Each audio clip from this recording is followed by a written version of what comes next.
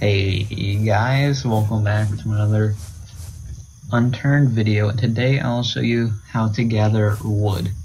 Now, it's very simple. All you need to find is an axe, which you can find basically anywhere, or a fire axe, which I like better, but they basically do the same thing. Um, I just like the design, but you find a fire axe at the fire stations. So you go up to a tree, and then just start hitting it.